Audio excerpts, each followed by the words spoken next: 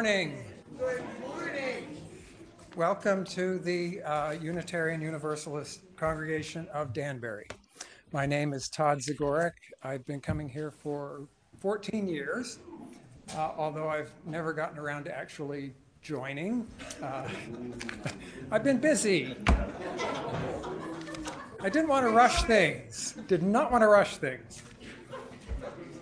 But, but friends here have, uh, have gently persuaded me that it's about time.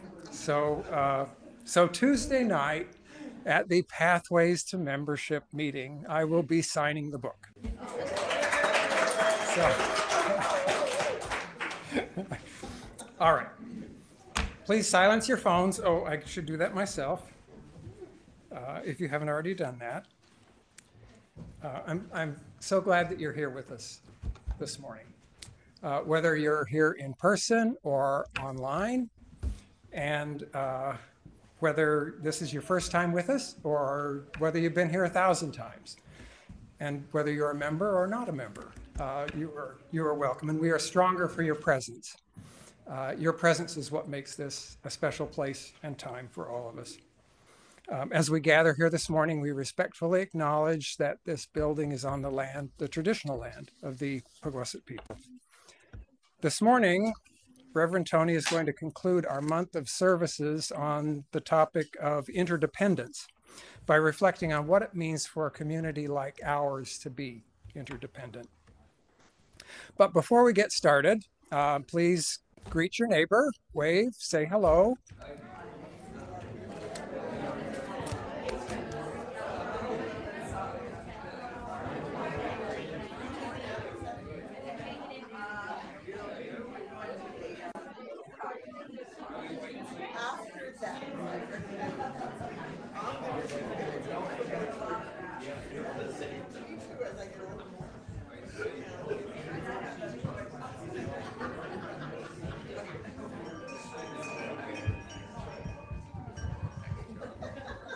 Join us Sunday, May 5th at 4 p.m. right here at 24 Clapboard Ridge Road in Danbury for Music at the Ridge as we present Joe Jencks.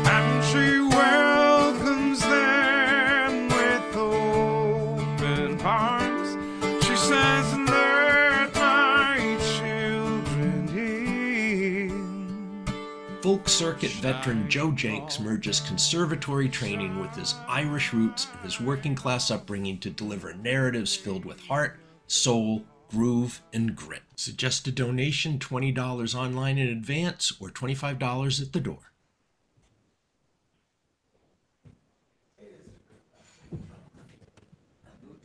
All right. Margaret Henderson's got an announcement for us.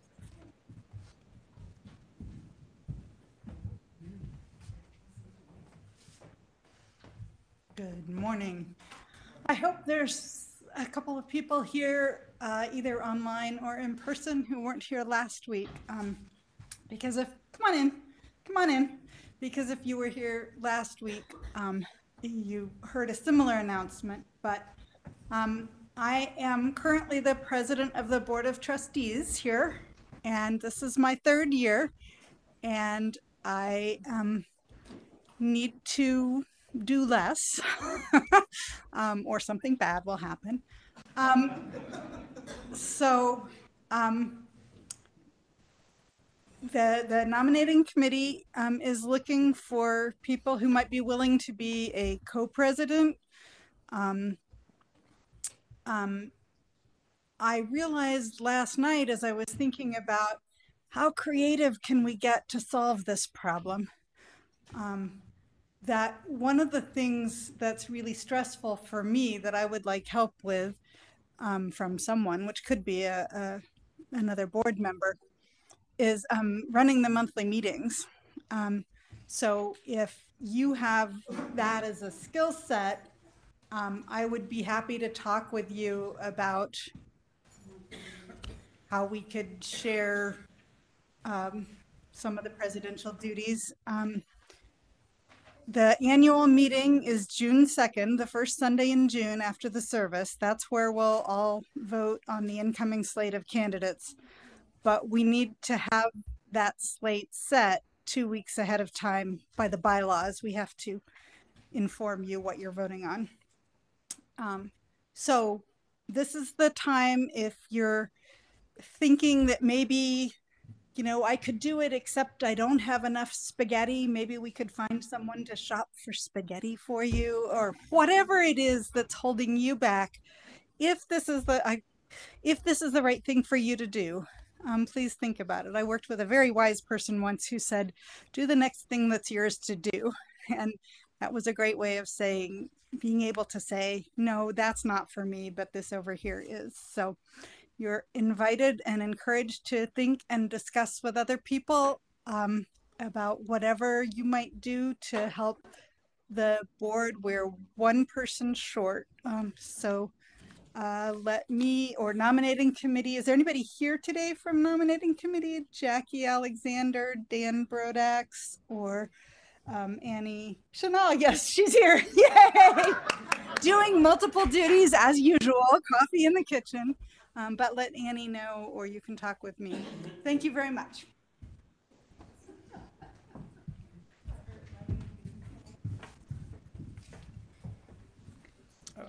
Join us today from 11:30 to 1 o'clock uh, for a a forum on memory loss, cognitive decline, and support for caregivers with speakers from the Goldstone Caregiver Center at Danbury Hospital and the Ridgefield Visiting Nurse Association, the RVNA. Uh, This coming Tuesday, April 30th, Reverend Tony and the membership team will host a Pathways to Membership conversion, conversation, Freudian. Or, no pressure, for anyone interested in becoming a member. Current members are also welcome. Please RSVP to the church office to Reverend Tony or to Heather Smith. Oh, that's at 7 p.m. on Tuesday. Uh, Next Sunday, May 5th, our guest speaker will be Chaplain Katie Grosh. And she will begin our month of services on the theme of pluralism by reflecting on love across enduring lines of difference. And she will share from her experiences of pluralism in practice in interfaith chaplaincy work and with the Life Worth Living Project at Yale. And then after the service next week, uh, we invite you to join the family ministry team for a maypole celebration outside. Uh, and and dress up, dress up for spring, dress up for the maypole celebration. Get out your pagan formal wear. Uh, think think flower crowns, uh, gratuitous ribbons, that sort of thing. Uh, I'm serious about the flower crowns because it would make it a more colorful, fun event for everybody. So just be ready to enjoy it. Uh, if it rains, it'll move indoors. But my phone says it's not going to rain next week, so I wouldn't worry about that. Uh, it'll be a fun celebration. Um, our congregation has been learning about neighboring faiths, and we've had presentations at community dinners recently. And uh, we had a visit to the New Hope Baptist Church. This afternoon, from two to four, we've been invited to uh, to visit the Baitul Mukarram Masjid on Main Street in Danbury. Um, it won't be a service. There won't be there won't be prayers. It will be it will be a, a tour for us. Our our host will be Shazita Khan, and she has uh, she has spoken to neighboring faith classes here uh, before in previous years, and she will give us a tour of the uh, of the masjid, and um, we'll talk about what it's like and what it means to live a life of Islam. In particular, what it means to live a life of Islam in this country at this time. If you are interested and need more details, uh, please uh, get a hold of Sierra Marie.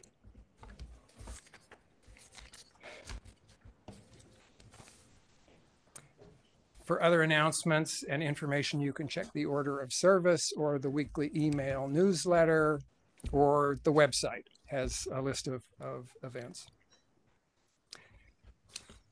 So now we'll start with our chalice lighting. Uh, we make this time and place holy simply by being together and lighting our chalice as an emblem of our uh, tradition as Unitarian Universalists. So please join me in the uh, in the affirmation. Love is the spirit of this congregation, and justice is its light. This is our covenant to dwell together in peace, to seek and speak the truth in love, to help one another, and celebrate life. Now, please uh, rise as in uh, body or spirit as you are able and join us in our hymn, May Nothing Evil Cross This Door. It's number one in the gray hymnal, or the words are also on the screen.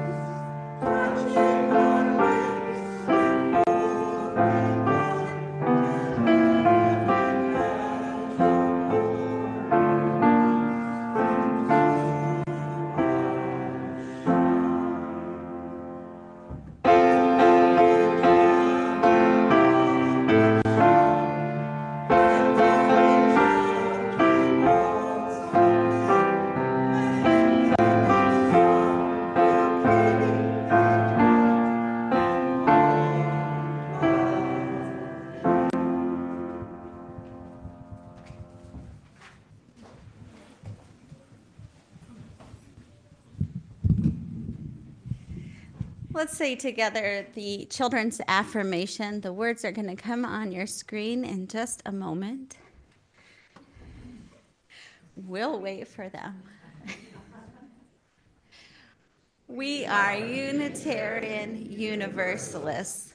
We are people with open minds, loving hearts, and helping hands.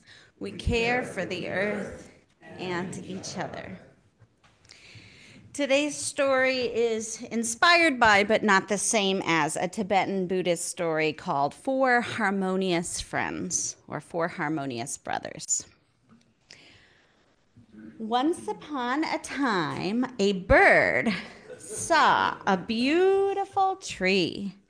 She had never seen anything so wonderful in her life.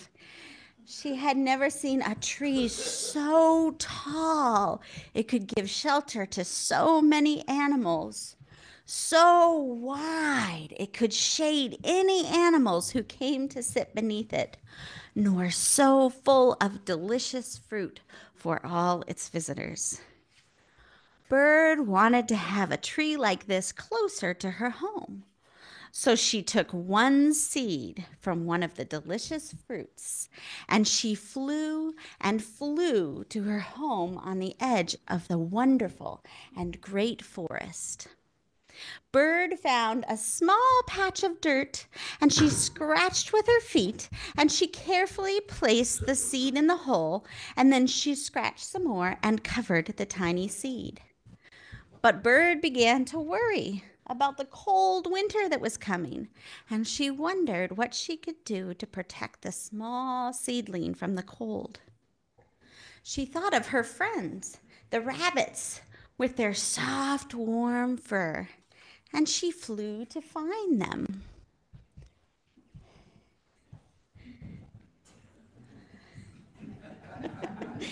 she told the rabbits of the wonderful tree, so full it could house many animals, so wide it could shade all who rested beneath, and so full of delicious fruit that it could feed any who came to visit it. She asked for the rabbits to help keep the seedling warm during the winter. The rabbits happily imagined the beautiful tree and they agreed to dig their nest close by so the warmth of their bodies would keep the soil warm for the tiny, delicate seedling. And that is exactly what they did. After the long winter, Bird flew to the spot where she had planted the wonderful seed. She could see the seedling, which had already became, become a small sapling, poking through the dried grass. She was worried because there were many weeds growing up beside the sapling. They would crowd the sapling and take all the ground's moisture. They would take the nutrients from the soil that help plants grow strong. Pulling weeds is a lot of work, and some of them already had strong roots that clung to the earth as Bird tried to pull them out with her beak. This was not a job for one animal alone. She needed help to get rid of the weeds, and so she went to find Monkey. Bird told Monkey all about the wonderful tree. Monkey could see in their mind's eye a place for them and their family and friends to swing and play and nap. They could almost taste the delicious fruit that Bird described, and they were willing to help.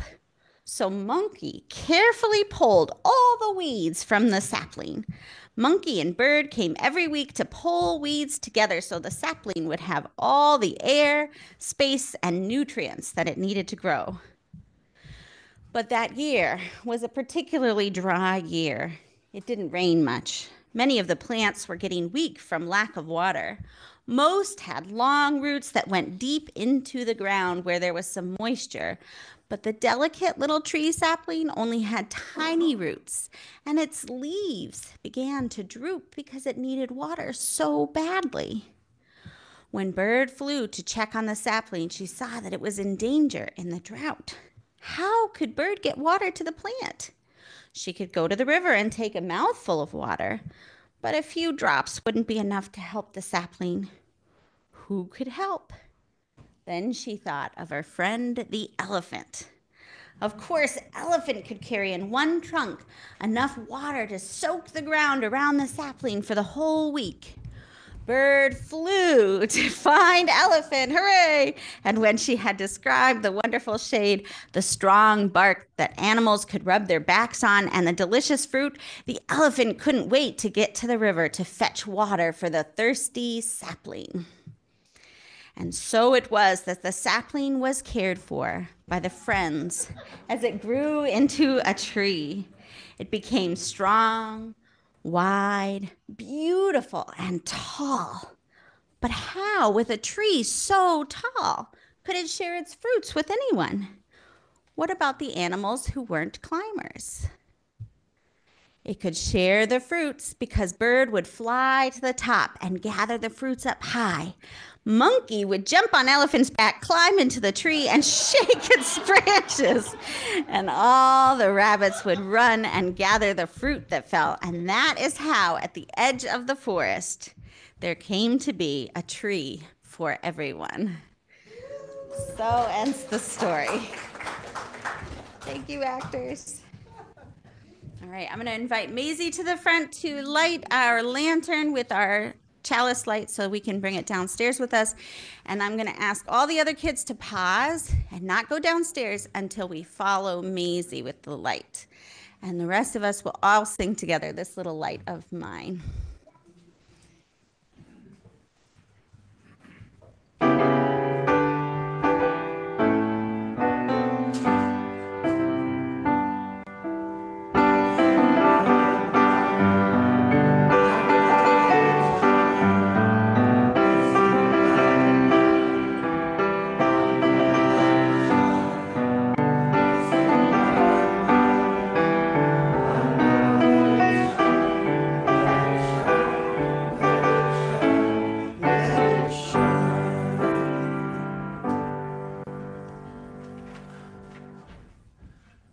Time every Sunday is, is a time of centering community.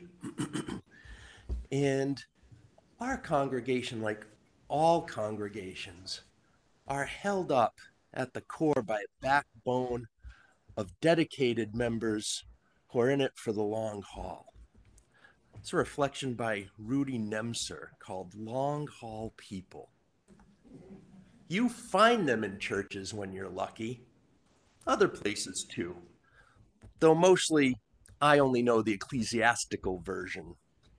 Long haul people, upon whose shoulders and pocketbooks and wallets and casseroles and daylight, nighttime, all time hours, a church is built and maintained after the brass is tarnished and the cushions need restitching.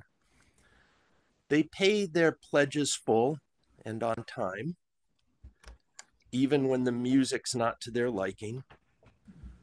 They support each canvas, even though the sermons aren't necessarily short.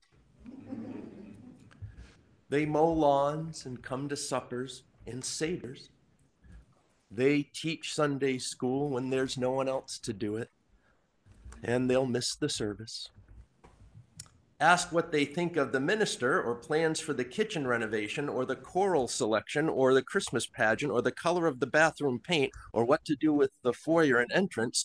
They reply, Oh, individuals and fashions arrive and pass. The church, their church, their congregation will be here, steady and hale, for a long, long time. It will. For long haul people, bless it with a special blessing.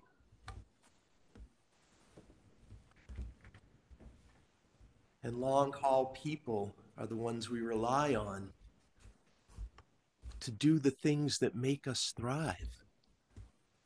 And we hope that all of us become those long haul people together. And each Sunday, we gather as a community during this time to share what is in our hearts. It reminds us we're all in this together, this sometimes painful and sometimes wondrous human journey through this life. It's a good time to remember people who are hurting or need our support. Together, we create a heart space in the here and now for seeking and granting forgiveness, a place where people may put and share grief, a time to offer hope and healing, and a time to share and joy with each other and to give thanks and offer gratitude for whatever blessings, great and small, are in our lives. In order to create this space with each other and for each other, we refrain from announcements and political opinion. We include everybody, and if you're with us online, please know that you can share your milestones in the chat, and, and Todd will come share them with us.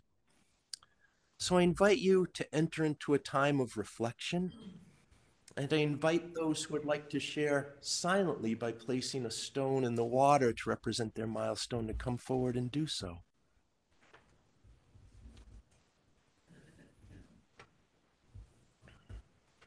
That have been shared, let's enter a moment of silence together.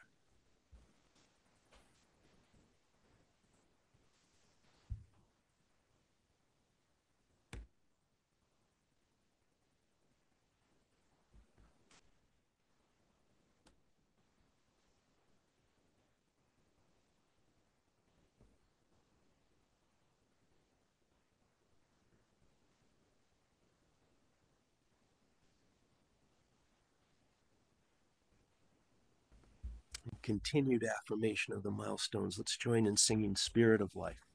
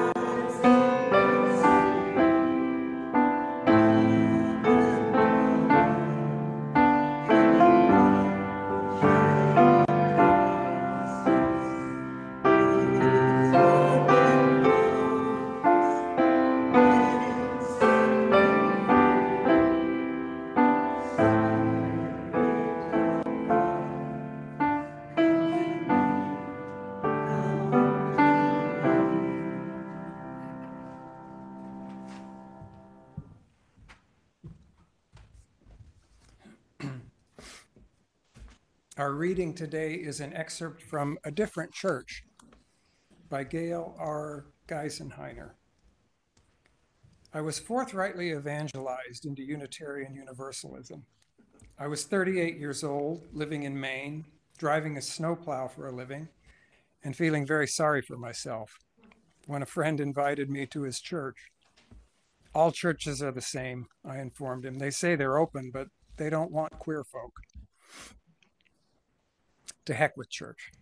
My friend persisted. He assured me I could come and not have to hide any aspects of myself. So I went. And I dressed so carefully for my first Sunday visit. I carefully arranged my outfit so it would highlight the rock hard chip I carried on my shoulder. I bundled up every shred of pain and hurt and betrayal I'd harbored from every other religious experience in my life. And I lumbered into that tiny meeting house on the coast of Maine. They could accept me in my full Amazon glory or they could fry ice. I expected the gray haired ladies in the foyer to step back in fear. That would have been familiar.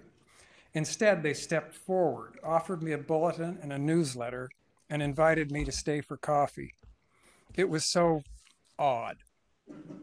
They never even flinched, and they called me dear. stay for coffee, dear.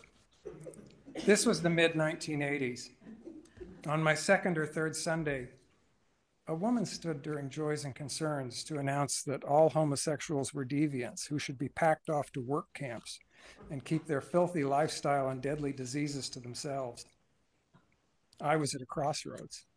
Would I go back?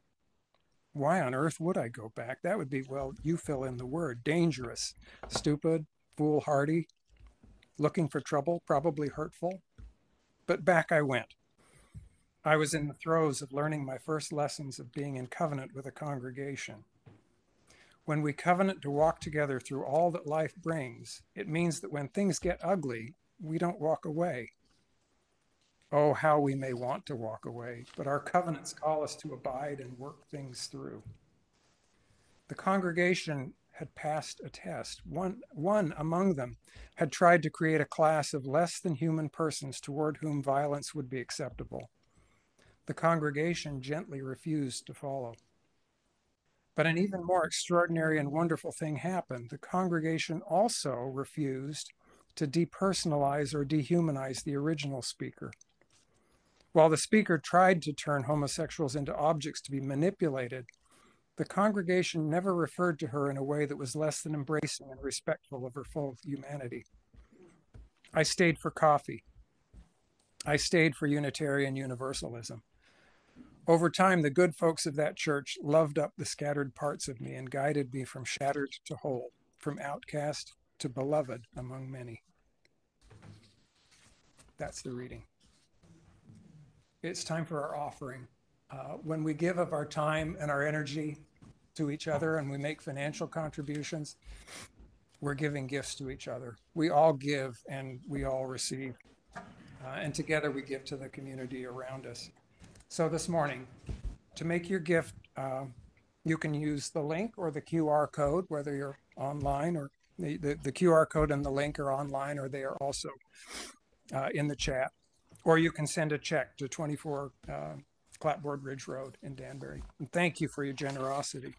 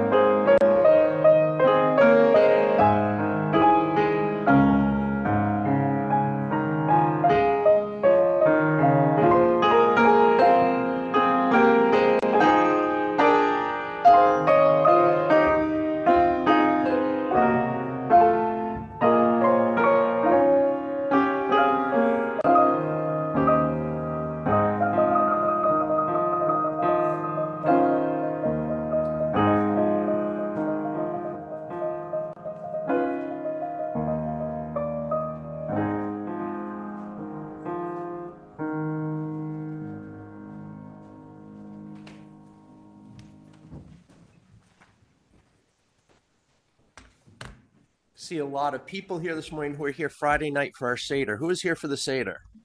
Yeah, a lot of people. The room was really full. There was a table that went all the way down the length of the room. And when some people came a little later, we had to set up another table over there off the side. There were a lot of children present. That was really wonderful. It was an amazing intergenerational experience, like being part of a huge extended family. The thing, in a way, you can't find anywhere else but a congregation. Some people who were here on Friday, members of the congregation, some were not. We had a bunch of guests. It was really an amazing evening. And all of us together, we were fulfilling actually the purpose of our congregation. Providing an open, caring community, welcoming people of diverse backgrounds who come seeking spiritual, personal, and intellectual growth, creating a place where adults and children are taught, nurtured, loved, and given freedom to explore and define individual beliefs while we affirm and promote Unitarian Universalist values of peace, social justice, and religious tolerance for all people. You, who is it the Seder again? Who is it? Now, while you were here Friday night, did you think you were doing all of that? Yes, okay. Some people actually did. Yay. Yeah. Sometimes we don't even think of it when we're doing what we're here to do. Because it's what because it's what we do. and that was the most wonderful thing of all to me. You know, what's it mean to create a place where people of all ages can learn and be nurtured and loved and given freedom and explore their individuality and be part of a community? What's that mean? Well, I think what that means is kind of what it means to be a member of a congregation. So, what's it mean to be a member of the congregation to you? Not a rhetorical question. Go ahead, think about it for a second. What's it mean to be a member of this congregation to you?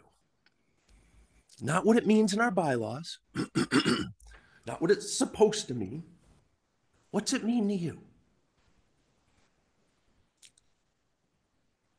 It's important because how we define this defines our relationship to this place and to each other and really has an impact on how interdependent we are and might become.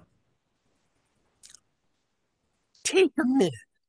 I'm going to watch. Take a minute and share with each other what you were thinking about what it means to be a member here. Go ahead.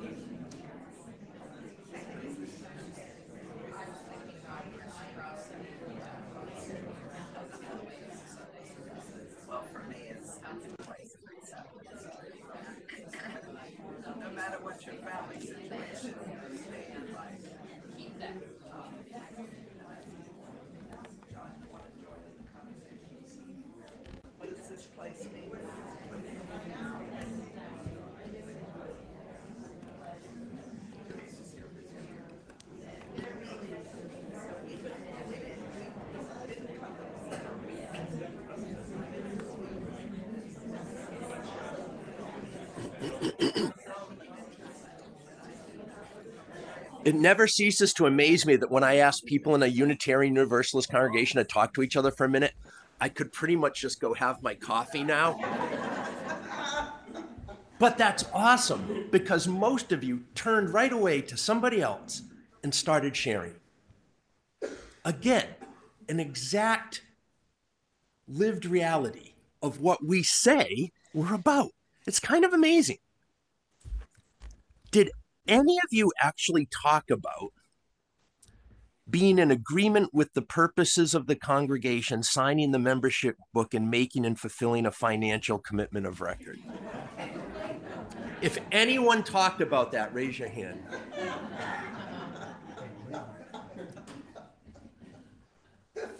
And, and I don't do this just as a joke. Think about that, because what I just read is what's in our bylaws of what makes someone a member.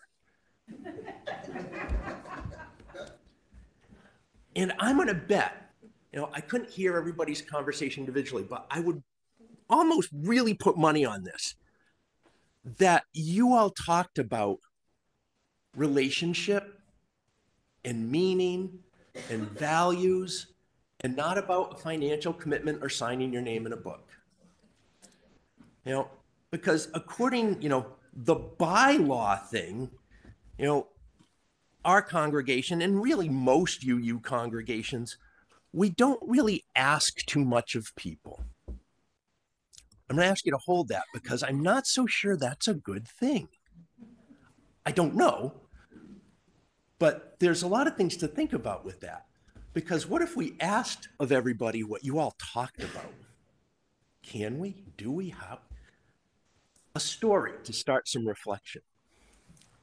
I went on a fascinating field trip in 2011 to this huge conference at a very big mega church outside Dayton, Ohio, the Ginghamsburg Church in Tipp City, Ohio. My sister lives in Dayton, Ohio. I had never heard of this church. It's like 12 miles from our house. But I probably should have, given what I learned there. There was a group of five Unitarian Universalist ministers from Texas, where I was at the time, and we are all into missional congregations. How does our congregation serve the world? How do we get out there? And this conference was said to be the best of its kind. It was called Save the World, and they did it at that time every October. I think they do it in April now. So we called them up and asked, Can five Unitarian Universalist clergy from Texas get your congregational group discount for registering? The person said they'd get back to us. Eventually, they did let us. They were so interested that Unitarian Universalists wanted to come to this. They're like, sure, give them the discount, let them come. And we actually got to meet with a pastor and everything. It was really interesting. So we got there and we discovered that Ginghamsburg, being a Methodist congregation, is a fairly middle of the road Christian congregation in many ways. They weren't hyper progressive but they certainly were not fundamentalists and hateful and excluding. You know, kind of your middle of the road Methodism that, I don't know, maybe some of you might have even grown up in. And I learned a lot that weekend. But one of the long lasting lessons I took away was what does it mean to be a member of a congregation? What do we ask of each other? Ginghamsburg was a floundering little country church of about 100 people outside Dayton, Ohio in 1979 when a new pastor named Mike Slaughter arrived. And he decided to grow the congregation by focusing on a mission to serve the world around them. 31 years later, when I attended that conference, Pastor Slaughter was starting to get ready for retirement. But Ginghamsburg then had a 75 acre campus and averaged over 4,500 people worshiping at their various services every weekend. Uh huh. And the reason for this growth wasn't, in a very real sense, their focus on mission. Mission, if you look on their website, still there to serve the poor and disenfranchised in their neighborhood and in the world. And they were good at it. Slaughter and his church became known as early innovators and early adopters of small group ministry the church media reformation and cyber ministry. When I visited, and this was back in 2011, they had over the last handful of years invested over $4 million in sustainable humanitarian efforts in Darfur. They had sent over 50 teams of volunteers to New Orleans to help with post Katrina rebuilding efforts. They operated not one, not two, but three independent 501c3 nonprofit organizations. One was focused on outreach to the community and general service. One was a counseling center that provided actual therapy to anybody, regardless of ability to pay. And the other was the Dream Builders Clubhouse, an after school center that did a number of different things. And these organizations served over 50,000 people in the area every year. The congregation at that time had received awards for outstanding community service from George W. Bush and Bill Clinton. US News and World Report named it one of the 50 best churches in America, and Mike Slaughter one of the 50 best Christian leaders in America. And I would learn while I was there that weekend that part of what made all that possible was how they thought about membership, strangely enough, and how membership was connected to their mission. Even though their average Sunday attendance, weekend attendance, was around 5,000, they only had about 500 members. and one reason for this was that the requirement levels of being a member were extraordinary. Their membership process required a multi session, multi week class. I looked on their website this week. The next one is six Sundays from May 19th to June 30th, 9 to 10 a.m. before service. Membership requires a stewardship pledge of at least 10% of your net income. You must agree to be a member of Join and regularly attend a small group ministry. And they have dozens and dozens and dozens and dozens. Some of them, at the time I was there, had been meeting for 25 years. And you must sit for an extensive interview with a member of the pastoral staff about how you would be of service, not to the congregation, to the world around you. you needed a plan of how you would put your faith into action in your life. It was part of what the class was for to help you think about all of this stuff. But still, can you imagine a Unitarian Universalist congregation even hinting at this level of membership requirement? No, no, but it worked for them. It produced a thriving and effective congregation of thousands of people. Their models fascinated me for years because I couldn't really piece together what all the details were working together that really did make it work. Yes, they had a mission that was very outward focused. Great. But there are a lot of congregations that have outward focused missions and they're dysfunctional and tiny and fall apart and there's congregations that are big and thriving and don't serve the world hardly at all. So that alone can't be it. And the more and more I thought about it as the years went by, I think it was due to their membership process. And not because of the intense requirement level. I don't think that in itself is, is what did it. I think the model worked because it clearly defined the mission of the congregation. And it defined very clearly what commitment to the model looked like. And if that was for you, great. And if it wasn't, great. You can still come here and do everything. We don't mind. Awesome. You're welcome. Their model consciously and intentionally, although they might not have called it this, developed long haul people. There's a guy named Matthew Ferris who writes a blog I like called Gentleman Theologian. And a couple years ago, he wrote a thing on membership and commitment. He says, I've been a member of a church that had no formal membership requirements whatsoever. One was not required to sign on to any covenant. But if you missed a Sunday, you would get a call that afternoon from one of the church elders saying, "Hey, we missed you this morning. You okay? How you doing?" Not why weren't you at church? You okay? What are you doing? We missed you. Now, this is from a Christian church, and it wasn't you're going to go to hell. You missed church this morning. It was we missed you. Are you okay? That's it he explains that a formal type of membership isn't even necessary for a congregation to function or be successful, or for leaders to successfully lead it in its mission. He says, in many churches where a formal membership process exists, it represents an enigma. And I agree. Think about this. Sometimes congregations, ours, others, have non members who do very member like things all the time as a regular basis. Todd did them for 11 years, 14 years. What was it? 14 years. And that's not to pick on Todd or, or make a joke. It's just that's just a lived reality. That's not special, right? This happens all the time, actually. And congregations also have members that never seem to give any money, never show up, and never get involved in anything. The membership is an enigma. It's like, what are we really talking about? Is it membership or is it commitment to the community? Because it's commitment to the mission and the community that holds the group together, not whatever membership things you have in your bylaws or if you have an eight week class that everyone has to attend to or you know you hold them up at gunpoint for 10% of their income or whatever it is right?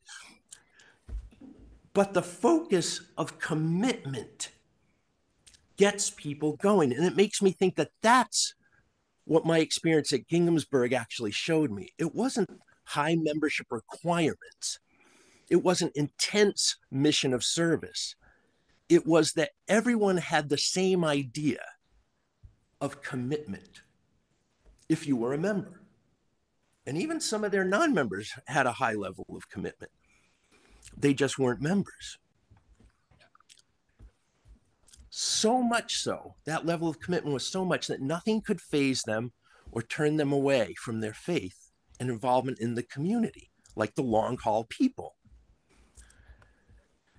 I think that Ginghamsburg is successful because they clearly identified who they are, what they're about, and their mission, and what it specifically looked like to be committed to that mission and each other. Developing our commitment to each other and to the congregation is really talking about our interdependence.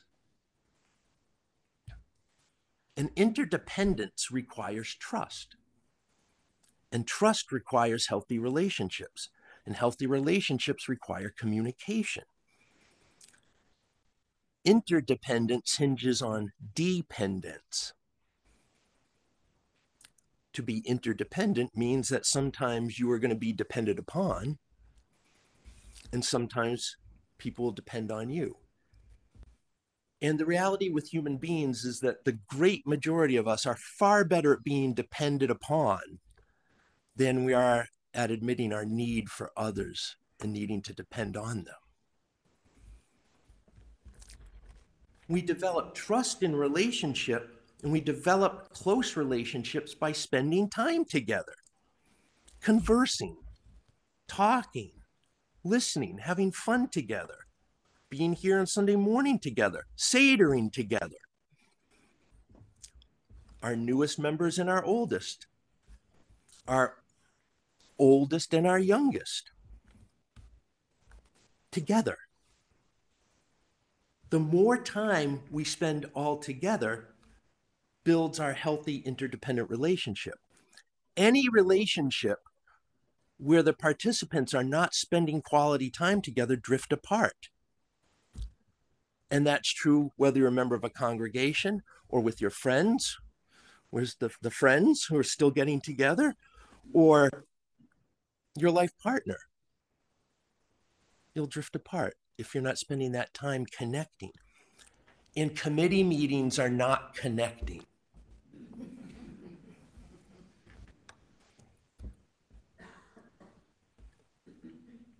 Interdependence requires a mutuality. And that mutuality and relationship requires communication exchanging with each other, not just what we think and our opinions on stuff, but the reality of what's going on with us, how we feel. Why do we ask people when we gather in teams or groups or committees to light a chalice and do a check in? That's not just so we can light a chalice because we're UUs. There's a much deeper reason for doing this. It's because when we do check in, we're listening to each other and conversing relationally. If the whole conversation, the entire conversation, the bulk of conversation we have with each other is business and decision making, then our relationships with each other become purely transactional, accomplishing business, making a decision, moving on. If we make time to work on and share our feelings and our experiences as well as our thoughts, what's going on in our lives with each other, we deepen the connection, the relationship, the trust. And the bonds of interdependence can really get tight because we're allowing ourselves to be vulnerable, making space for vulnerability in the other, really forging that kind of connectedness that lets us all be in this together for the long haul. To show up not just for coffee, but for Unitarian Universalism and each other. And how we're doing this relating to each other can be greatly influenced by how we think about what our congregation is. What is this community that we're relating to each other within and for and around?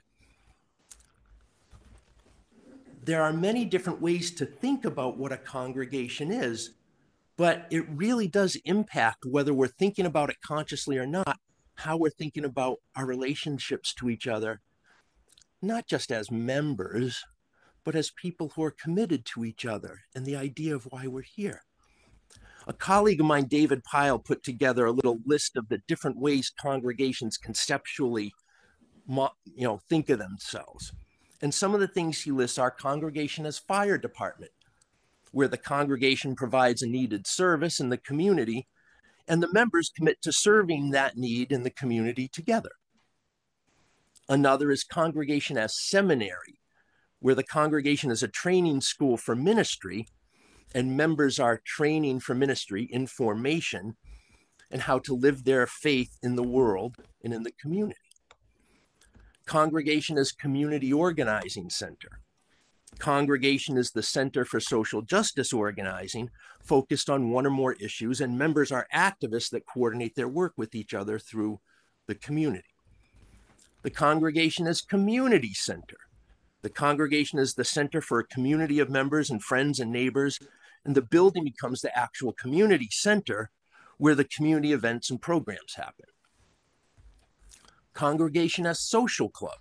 The congregation is a gather of dues paying members who organize club activities, sometimes help with events, and leaving all the heavy lifting to the club elected officers. And all these models are just conceptual. And a congregation can certainly function in more than one of these ways at the same time.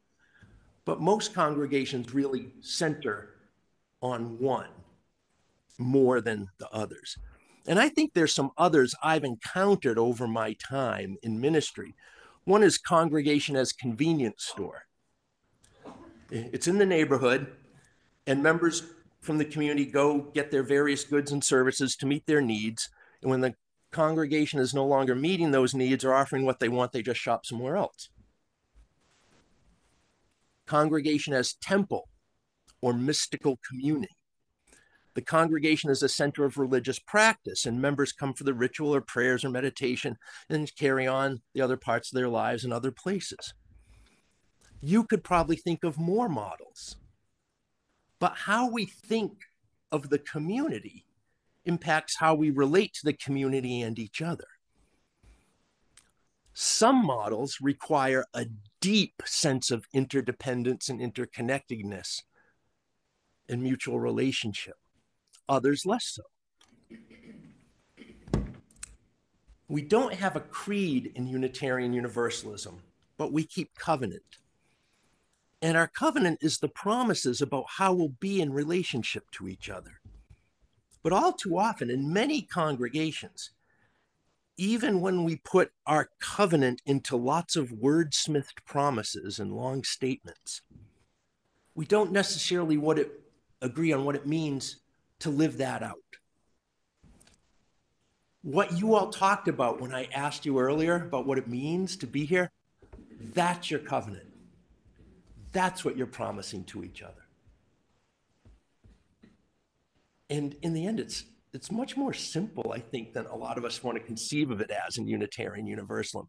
Gail Geisenhainer, that that reading, by the way, is from a sermon that was 20 minutes long. She gave at General Assembly, which go watch it on the internet. It's amazing. But what she talks about is that when it got down to the relationality of those promises, it was through the good and the bad, through helping each other, no matter what occurred in the relationship, to promise to stick it out, work it out, find a way to get back, to be that example of love we say we are. That's something a congregation can do that I challenge you to find any other organization in our society that does it. That's where we live. And I wonder sometimes if there's things we can do to increase the sense of relatedness and interdependence we have with each other. We have Danbury in our name. But not everyone in this room lives in Danbury. Some of us don't even live in Connecticut. And if we're going to be in close relationship and contact to each other, maybe one of the things we can do is plot where all of us live on a map and then contact all the little dots or pins that are closest to each other and encourage them and give them resources for getting together with each other closer to where you live on a regular basis for meals, for fun, to go serve your community locally out where you are. One congregation I formerly served called this their neighborhoods program because they drew from a big, big way around. We have grown in our religious education program here in the last year. And maybe one of the ways we can reimagine our connection is finding ways to make it easier for parents and families to connect, find out how we can provide more of what they need, encourage them to have relationship with each other beyond just being here on Sunday morning, finding ways that intergenerationally we can benefit from each other no matter what our age is chronologically. And I think again of our Seder on Friday night. There was a crowd, a group, a gaggle, eight, ten children ran off finding the Afikoman all over the place. And they all got prizes. It was great. This is what builds us together. So that when we do finally hit a committee meeting, we are in such relationship with each other that it's easier for us to focus on where we're going, what decisions we need to make, what business we need to do. I once had a, a board that took a class called Serving with Grace. And when they were done, they found they would spend a half hour, 45 minutes of their board meeting checking in. And then they were able to get more done in that remaining hour than they had been in their two hour meetings anyway because all the needs to be heard, all the needs to have your ideas out there, all the other things that we want relationally that aren't happening while we're doing business have happened. And and we're there in connection with people already. And then we move more quickly. Because we're not trying to do the relating and figuring out and if it's safe to speak and all that kind of stuff at the same time. So, what's it mean to be committed to each other and to the congregation. What's it mean to be a member? Maybe we can continue to have conversations about these things. Because how we answer all these questions I've asked us to think about this morning really does determine where we're going next and how we're going to get there and with who. What's it mean to us to create a place where people of all ages are taught, nurtured, loved, and given freedom to explore and define who they are and what they believe. What's it mean?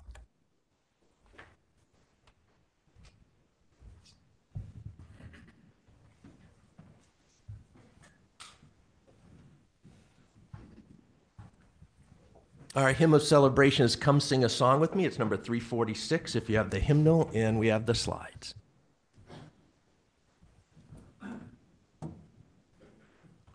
Invite you to rise in body or spirit and sing with us.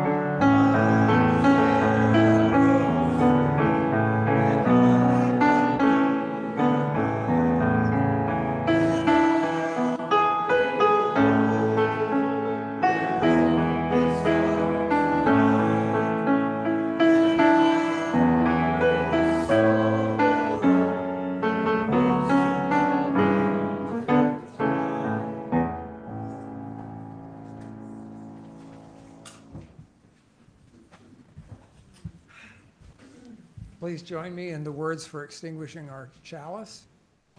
We extinguish this flame, but not the light of truth, the warmth of community, or the fire of commitment.